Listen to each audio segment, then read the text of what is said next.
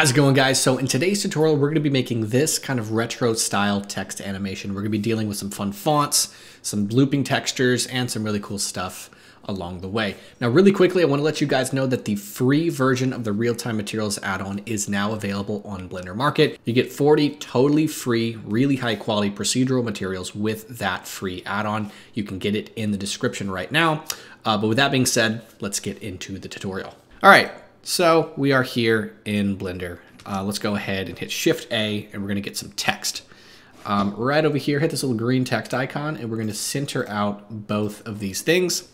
To edit your text, you'll hit Tab and I'm gonna type in blend. Have some fun there. Now, we need to go to the font section. And for this, any kind of retro font will work. Um, really, the, it's the animation, the frame rate, and the weird stuff we're gonna do later that's gonna make it look very retro. But one of the most important things for this design is the font. So look up like best retro fonts, something like that. There are tons and tons on the internet. I'm gonna go ahead and get mine. So the font I'm using is Moderna Regular and then that one's totally free on the internet. So we'll go ahead and use that, and now we have it. Let's go ahead and go to the geometry section, and then I'm going to extrude it. Just keep it nice and square. Um, not too thick, but definitely not too thin. And then what we need to do here is round these corners. That's really gonna sell the effect we're gonna add to it later. So that's gonna be with these depths. Uh, we're beveling.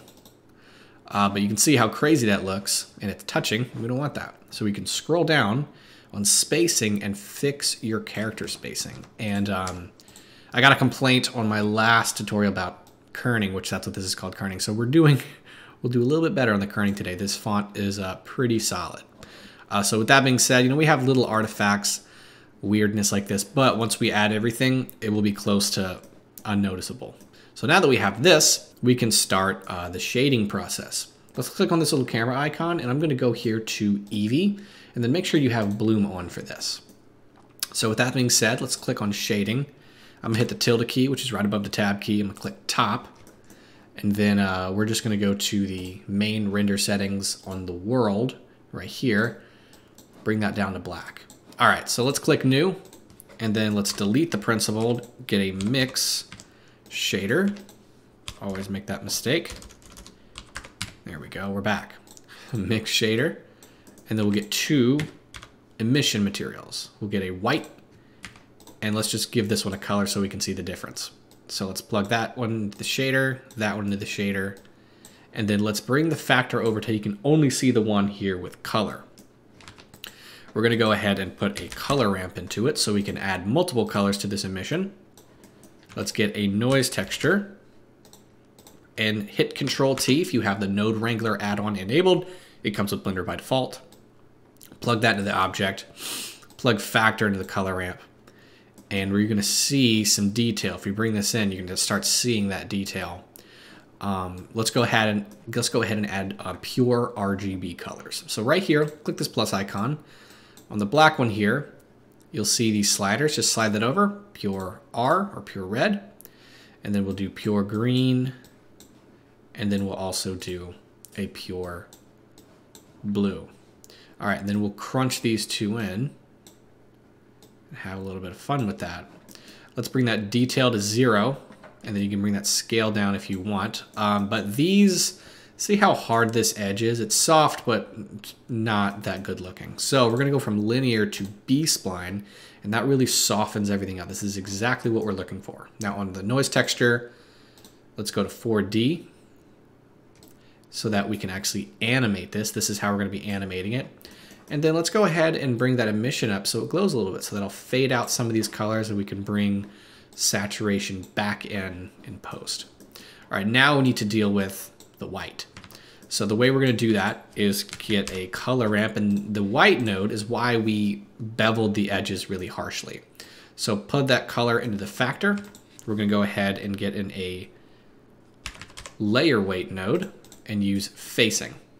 So once we do that, we're going to go ahead and we need to flip the color ramp.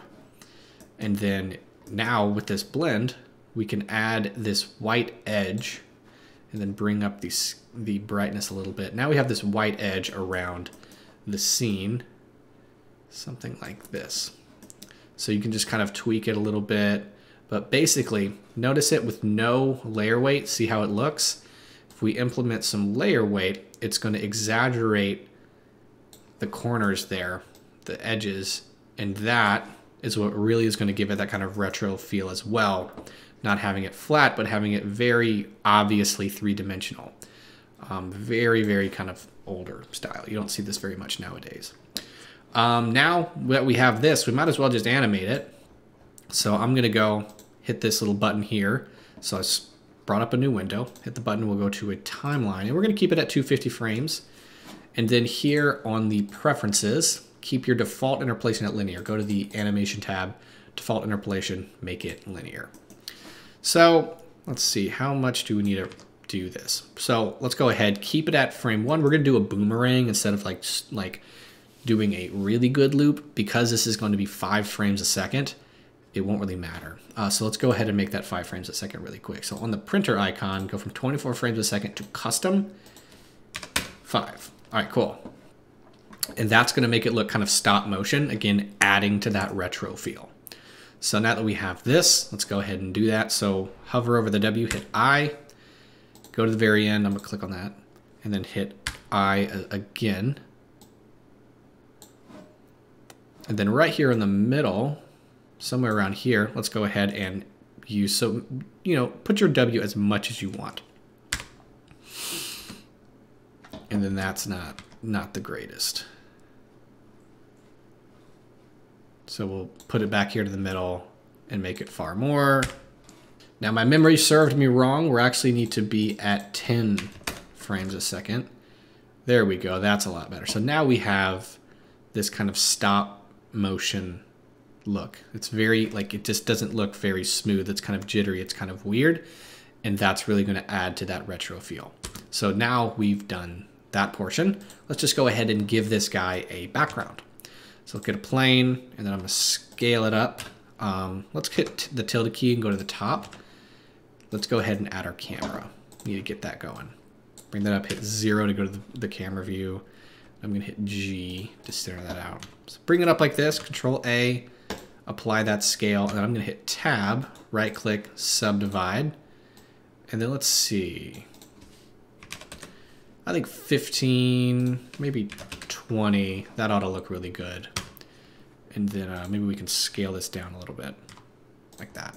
And then I want this to be behind it. There we go. So now we have this. We're gonna go ahead and add a wireframe. So let's first off hit Control A and apply that scale. Can't remember if I did that. Let's go ahead and add a wireframe modifier and then bring that down. We're just going to add an emission material with a gradient to really sell. Again, we're going for retro. Retro loves these kind of grids and stuff like that, so we really want to want to kind of go after that and then keep it within this. All right, now let's go ahead and add that material and we'll be done. So let's click new, making sure that plane is selected. I'm gonna hit the period key to bring this up. Let's go ahead and get that um, emission node. Plug that to the surface. Boom. Now we got this. Definitely want to make it thinner. There we go. I like that. We can bring this up a little bit. Let's go ahead and get a color ramp. And we're going to keep the color white so the color ramp doesn't need to change. And we'll get in a gradient texture. Hit Control T. We're definitely going to need this mapping and texture coordinate. And then plug the color here. Gradient is working, but we need to go here to spherical. And then from linear to B-spline. And then we can just kind of bring that in. Notice how nice that fade is. And then right here, I'm gonna click and drag and we're gonna scale up that gradient until it kind of fits. And if you want to, which one would it be? You can actually squash, make it more of an oval, and then we can go ahead and make this brighter if we want. Um, but maybe maybe not. We don't really need to. Um, but yeah, and you can change the location of this if you want, which I want to bring it up a little bit. And there we have it.